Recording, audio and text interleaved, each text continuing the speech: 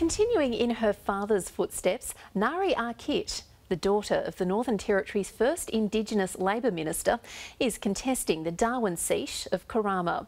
The seat belongs to former opposition leader Delia Lawrie, who was deselected earlier this month and now sits in the NT Parliament as an independent.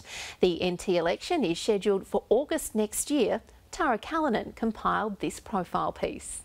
In 2007, Nari Arkit lost her 17 year old brother to suicide, a tragic event which motivated her to establish the Darwin Indigenous Suicide Prevention Network.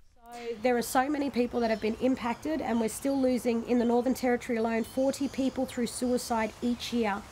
And half of that number, 20 of those deaths from suicide, are Aboriginal and Torres Strait Islander people.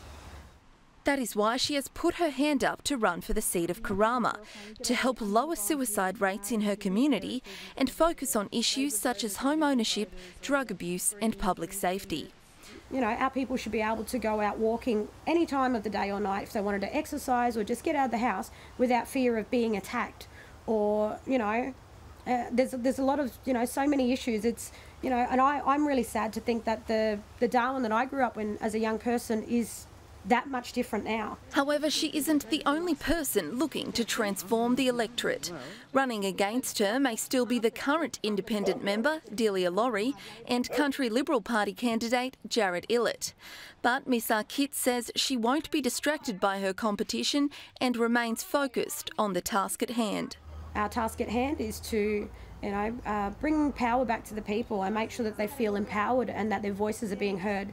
Um, I don't feel that the Northern Territory government at the moment is actually doing that very well at all, uh, which is another reason for me to put my hand up and um, contribute to getting the Northern Territory back to the place where it once was. The next Northern Territory general election is scheduled for next year. Tara Callinan, NITV News.